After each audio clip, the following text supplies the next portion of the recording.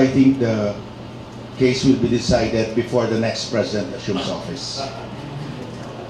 So in the event that it will not be decided uh, and uh, there's a new president, the case is still going on. Now, under UNCLOS, uh, the UNCLOS itself encourages the parties to come to an amicable settlement even while the case is going on because the, tribunal will be happy if the parties come to an agreement because that is a durable uh, solution because they both agree.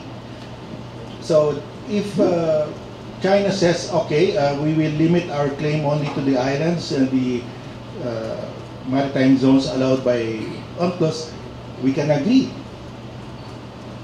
We can agree.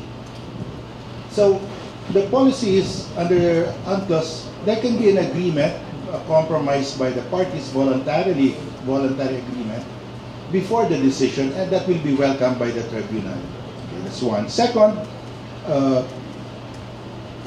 the uh, if a new president comes in and the case is still going on, there's nothing wrong with talking to China. But what is wrong is if the case is withdrawn. It should not be withdrawn. Because, as I said, it's normal uh, for the parties to be talking uh, even while there is a case because an amicable settlement is always encouraged. But if the next president will say, we will first withdraw the case because we are going to talk to China, that will be catastrophic.